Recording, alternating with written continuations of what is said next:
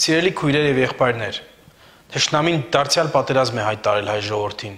հարցակում գործելով մեր հայրենի Արցախի ուղությամբ։ Թշնամու նպատակը կար եւ մնում է մեզ զրկել մեր բնորանից, մեզնից խլել պատմական հայրենիքի վերջին մասը, մեզ ոչնչացնել կամ դարձնել անհայրենիք ժողովուրդ։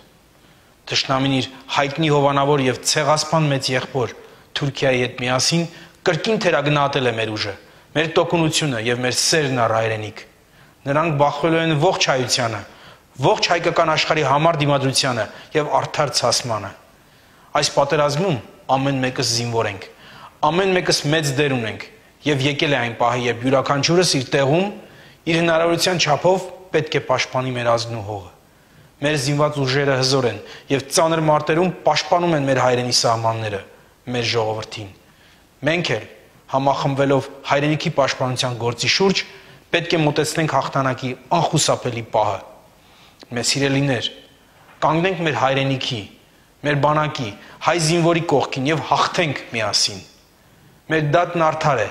Միասին մենք հզոր ենք։ Աստված մեր կողմից է եւ ոչինչ, ոչ ոք, ոչ Թուրքիան, ոչ էլ սիրիացի վարձկանները չեն կարողանա Ադրբեջանին եւ Ալիևին փրկել մեր կոշտ եւ անկասելի պատժից։ Փառք մեր բանակին, փառք մեր պետականությանը, փառք Հայաստանին եւ փառք հայ ժողովրդին։